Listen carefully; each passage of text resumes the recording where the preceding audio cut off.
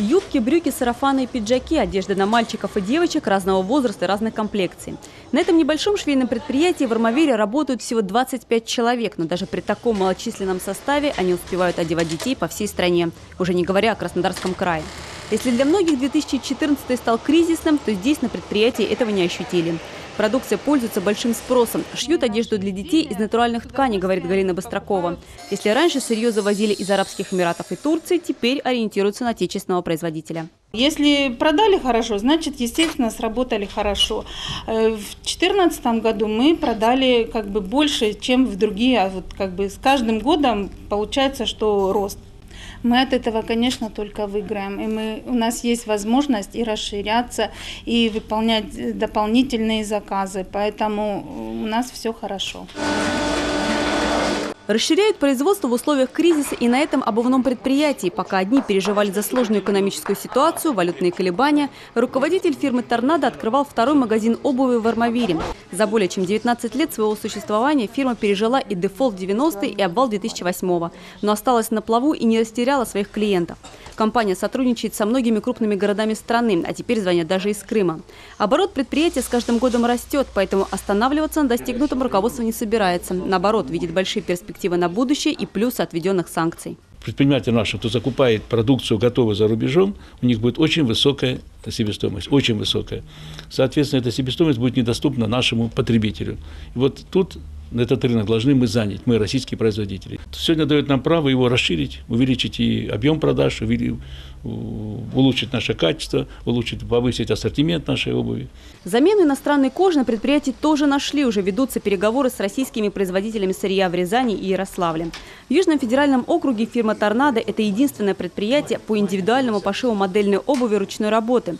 Здесь ее делают на заказ на любой размер и из любого вида материала. Клиент сам выбирает модель и цвет.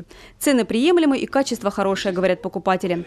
Заключать договоры и приобретать товар приезжают из соседних регионов. Очень, конечно, удобно, потому что нога маленькая, нужен индивидуальный подход. Вот. А в обычных магазинах очень проблемно подобрать. Иногда я не нахожу, а тут все по размеру, все измерят, щиколотку. Очень удобно и обувь качественная. Уже на протяжении многих лет мы заказываем здесь, на заказ. Развивать малый бизнес, наполнять бюджет и запускать свое производство. Такой задачей перед главами муниципалитетов поставил Александр Ткачев на селекторном совещании. Импортозамещение может стать основой для экономического и промышленного роста на достаточно длительную перспективу. Упор нужно сделать на частное предпринимательство и малый бизнес. Сегодня государство вынуждено брать курс на импортозамещение во всех областях, включая рынок текстиля, одежды, обуви, наиболее зависимый от импорта. Мы должны научиться делать э, правильно правильную, качественную продукцию, замещать э, импорт и занимать эту нишу. Займем сегодня, значит займем навсегда. Как, собственно, мы делали по сельхозпроизводству. Лет пять назад мы 50% только, а, в общем-то, кормили себя, производили мясо, молока и так далее. Сегодня это практически уже 80%. Мы должны занимать свои ниши в других сферах бизнеса.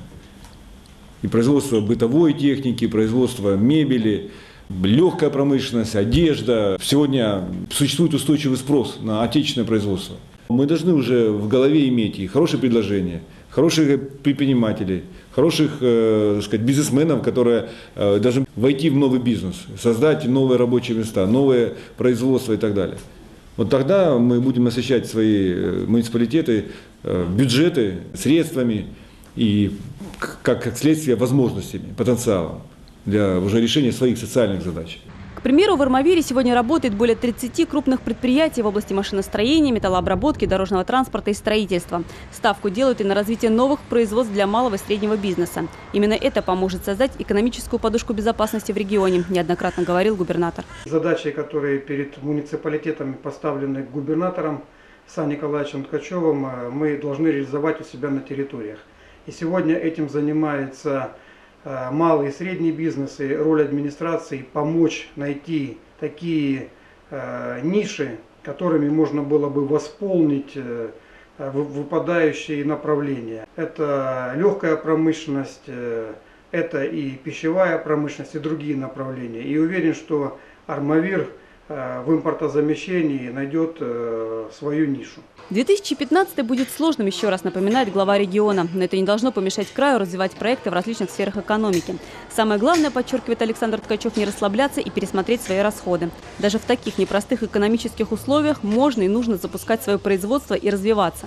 Сейчас необходимо сосредоточиться на том, что будет приносить доход и наполнять местные бюджеты. 2015 год, он будет э, непростым. И никто не может предсказать ситуацию ни по нефти, ни по валютному рынку. Значит, будем жить э, в режиме экономии, поэтому не расслабляться. Собственной силы, своей администрации готовить такому сложному, непростому, во многом непредсказуемому году. Требует всех э, мобилизации, прежде всего по наполнению бюджетов, значит, вместе с налоговыми службами. Обратите внимание очень серьезное на все налоги, прежде всего муниципального, регионального уровня. Уверен, э, что мы справимся с этой задачей, с этим вызовом. Однако, несмотря на все сложности, нынешняя ситуация на крупные предприятия никак не повлияла. Они твердо стоят на ногах и продолжают работать в обычном режиме. К примеру, на Краснодарском кирпичном заводе заказы расписаны на полгода вперед. Здесь делают стройматериал не хуже, чем за границей, используя отечественное оборудование и местное сырье. Тем более, что глины на Кубани предостаточно, говорит директор завода. Только за 2014 год производство увеличили на 10-15%, и это не предел. Так что здесь кризис воспринимают как вызов. Сделаем свое и заработаем.